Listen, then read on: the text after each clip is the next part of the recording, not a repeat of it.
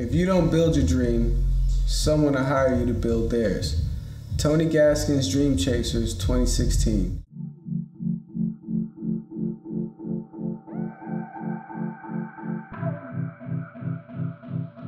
This is the Legion. Growing up as the oldest of four brothers, my father a union welder and my uncle a postmaster in Washington, D.C., I often got asked, What do you want to do? What do you want to be? I always had a passion to be an entertainer and successful in music, film, and fashion. While it seemed real to me, I was always told, art is not a job, and that I either needed to learn a trade or find a job. Struggling to find work during the recession, I dropped out of college for the first time, turned to a life of crime.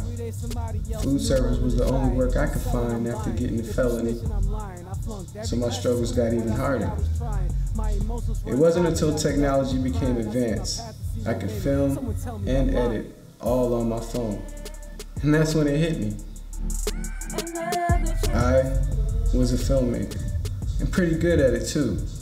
I had an iPhone, Filmic Pro, and a few non-linear apps in the early 2000s, but nothing like the ones I use today.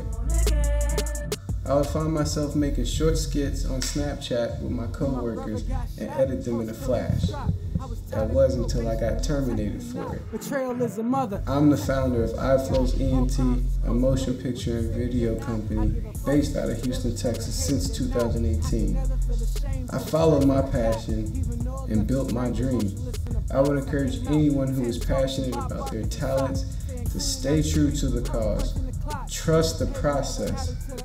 Capture the moment. Choosing fellas just ain't shit. Till a nigga learn to quit and start up his own shit. Born again.